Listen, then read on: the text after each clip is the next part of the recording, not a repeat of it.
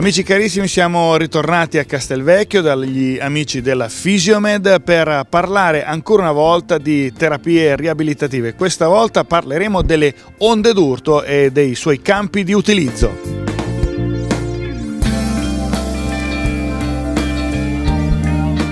Fattini, allora qual è la branca della medicina della quale si occupa? Principalmente io come fisioterapista e chiropratico mi occupo di tutte le patologie osteoarticolari che possono insorgere eh, a livello personale, sia nell'adulto sia nel giovane, ma anche e soprattutto purtroppo nell'anziano. Parliamo delle onde d'urto nella spina calcaneare, cosa sono e in termini pratici qual è l'utilizzo? La spina calcaneare o sperone calcaneare è una patologia molto frequente eh, nelle persone adulte ma che non disdegna anche il giovane Cos'è la, la spina calcaneare? È una formazione ossea che si forma a livello del calcagno posteriormente, ma principalmente a livello plantare. Questa patologia che sintomi dà e come compare il dolore? L'insorgenza del dolore eh, avviene eh, principalmente con un dolore acuto della fascia plantare mh, mm, a livello del calcagno, quindi dell'appoggio posteriore del piede, eh, il soggetto, la persona interessata eh, da questa patologia eh, trova difficoltà, specialmente il mattino o dopo un periodo di inattività di alcune ore, nell'appoggiare il piede a terra. Quindi il dolore si presenta mh, acutizzato, invalidante mh, nel ciclo del passo, che persiste per un po' di tempo per poi durante la giornata o durante il carico alleviarsi un pochettino. Quali sono le cure possibili che si possono mettere in pratica su, questo, su questa patologia? L'approccio per eh, la patologia da spina calcaneare è principalmente polispecialistico, in quanto eh, è una patologia che insorge da mm, malfunzionamento dell'appoggio plantare, spesso insorge mh, mm, post dolore al ginocchio, post dolore all'anca, post dolore alla schiena, ma principalmente nelle donne anche nel periodo estivo perché sono abituate ad avere una postura anteriorizzata del piede, quindi a portare un mezzo tacco, il tacco, si ritrovano poi nel periodo estivo a utilizzare una calzatura bassa come la ciabattina, come l'infradito, dove il piede non è eh, nella sua posizione abituale e quindi il malposizionamento dell'appoggio plantare provoca questo tipo di infiammazione. Le cause mh, mm, principali anche di questo tipo di patologie sono l'avere un piede cavo. Le persone con un piattismo del, del, piede soffrono molto meno di questa patologia in quanto la fascia plantare è già nella posizione detesa, avranno altri tipi di problema, ma non soffrono quasi mai di spina calcaneare. Quindi il piede cavo è una delle concause di questo tipo di dolore. Abbiamo parlato all'inizio delle onde d'urto, ma quanti tipi ne esistono e quali sono soprattutto le differenze?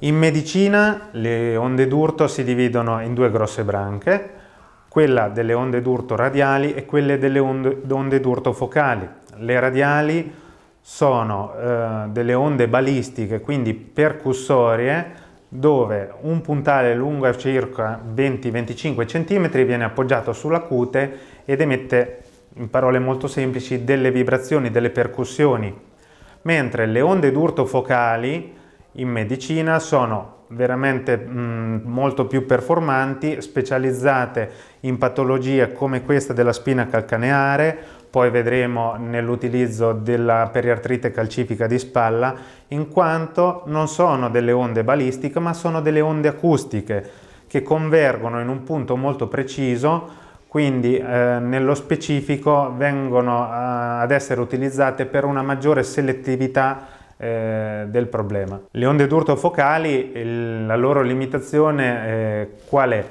È trovare un operatore che abbia questo tipo di macchinario, perché purtroppo ha dei costi di, di impianto di acquisto molto più elevati rispetto alle radiali, proprio per la loro specificità.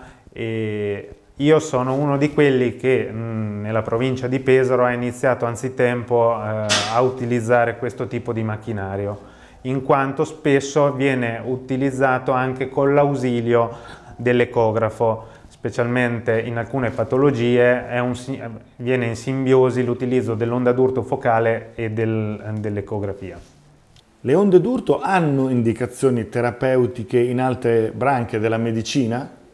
Sì, negli ultimi anni eh, viene spesso utilizzata anche in ambito urologico per patologie dell'indurazio penis, dell'insufficienza eh, urinaria, del eh, dolore pelvico cronico. Ci sono anche utilizzi in dermatologia per quanto riguarda le verruche. In termini pratici quante sedute occorrono e soprattutto dopo quanto eh, insorgono i primi benefici? Allora, le sedute variano da un minimo di 3 a un massimo di 5, è normalmente l'iter terapeutico. Una seduta dura all'incirca 10 minuti. Eh, il paziente avvertirà un minimo di dolore ma è sopportabile in quanto le onde d'urto focali di ultima generazione rispetto a quelle di qualche tempo fa sono molto meno dolorose e più sopportabili da parte del paziente.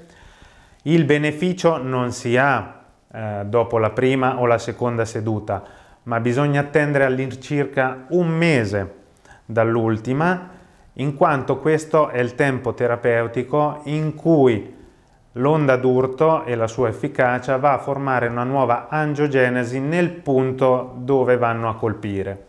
Ma dal punto di vista proprio eh, oggettivo, che cosa avviene alla spina calcaneare? Si frantuma? Qual è il suo destino? No, assolutamente no. La spina calcaneare è un osso. Fino a qualche tempo fa l'ortopedico eh, optava per l'intervento ma negli ultimi 10-15 anni questa pratica è molto diminuita in quanto si opta di più per la terapia conservativa. Mm, con le onde d'urto noi andiamo ad agire sull'infiammazione tendinea della fascia plantare in quanto mm, una volta trattata questa eh, la spina calcaneare eh, può anche rimanere per tutta la durata della vita di una persona. Quello che è fondamentale è ad agire sul tendine. Quindi Oltre alle onde d'urto focali, spesso è consigliabile l'utilizzo di un plantare su misura che un tecnico ortopedico o un podologo vi potrà poi eh, confezionare adatto a voi.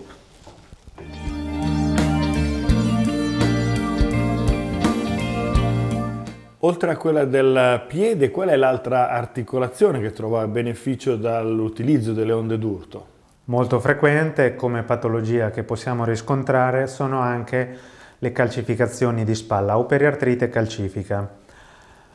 Queste eh, periartrite calcifiche insorgono eh, spesso eh, anche in giovane età, non come nel primo caso del piede, spesso in età più avanzata, non fanno quindi distinzione di, di sesso né di eh, età eh, la calcificazione di spalla, a differenza dell'esostosi del piede, quindi un vero e proprio osso, in questo caso sono dei depositi calcifici di sali di calcio che si formano senza una ben specifica eh, spiegazione in ambito eh, medico, principalmente nel tendine del sovraspinato.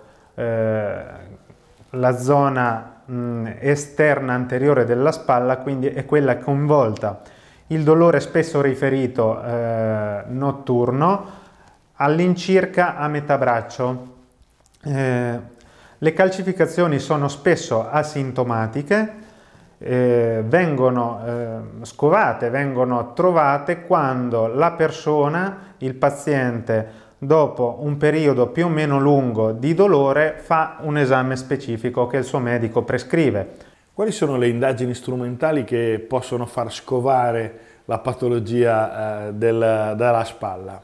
Il gold standard per mh, mm, verificare che ci sia una calcificazione di spalla è in primis un'ecografia osteoarticolare, dopodiché l'ecografista o il medico potrà prescrivervi anche un RX e nei casi più gravi di sospetta lesione della cuffia dei rotatori lo specialista mh, vi chiederà anche una risonanza magnetica.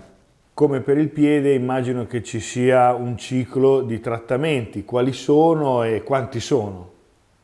In questo caso, riguardo le calcificazioni di spalla, eh, dovremo innanzitutto dividere piccole calcificazioni da grandi calcificazioni. Intendiamo medio-piccole quelle che vanno fino ai 6-7 mm, intendiamo calcificazioni più grandi quelle sopra gli 8 mm, 1 cm. In questo caso, come nel piede, varieremo il numero e la durata delle sedute eh, in base alla grandezza della calcificazione, quindi da un minimo di 3 a un massimo di 6, sempre a cadenza settimanale. Quello che in questo caso incide molto è anche la densità della calcificazione, in quanto alcune sono molto più rarefatte di forma lineare, alcune hanno una forma più ovalare e compatta, quindi tecnicamente più resistenti, mentre però nel piede parlavamo che lo sperone rimane lì, non va frantumato, nella calcificazione di spalla eh, abbiamo, abbiamo, buone probabilità di un, un riassorbimento della stessa e quindi di una scomparsa completa sia del dolore che della calcificazione. Questo quando avviene? Avviene all'incirca come per le altre patologie dopo circa un mese, un mese e mezzo dalla fine del trattamento. Quindi anche in questo caso non bisogna aspettarsi un risultato nel breve periodo, ma nel medio-lungo periodo. Fondamentale per la spalla è anche il recupero da parte del fisioterapista dell'articolarità del paziente, in quanto queste spalle risultano spesso molto bloccate, dolenti, vanno incontro a una ipomobilità sia eh, a livello di abduzione, adduzione che di elevazione. Quindi il fisioterapista lavorerà molto sul recupero del ROM articolare con esercizi sia passivi e si indirizzerà il paziente anche a una corretta riabilitazione da fare a casa o assistita in un centro riabilitativo. Ma in termini pratici una seduta come, come si svolge? La seduta è molto semplice. Allora, prima andremo ad individuare ecograficamente il posizionamento della calcificazione nello spazio dell'articolazione della spalla. Eh, in termini tecnici la punteremo, quindi vedremo a che profondità è e in che posizione quindi metteremo il braccio del paziente nella maniera più corretta per poi praticare la seduta. Anche in questo caso durerà circa 10 minuti, uh, ha un minimo di dolore anche qui, più o meno sopportabile, stiamo nella soglia del dolore. Dopodiché il paziente comunque può uscire dall'ambulatorio in maniera autonoma senza mm, anestesia, senza problemi invalidanti per quel che riguarda l'arto. Comunque, chi vuole approfondire questo argomento può trovarmi in, eh, nel mio studio a Monteporzio, il Fisiomed, in via Cesanense 134, oppure a Fano, negli studi medici di via Roma 2, in via Togliatti 3, angolo via Roma.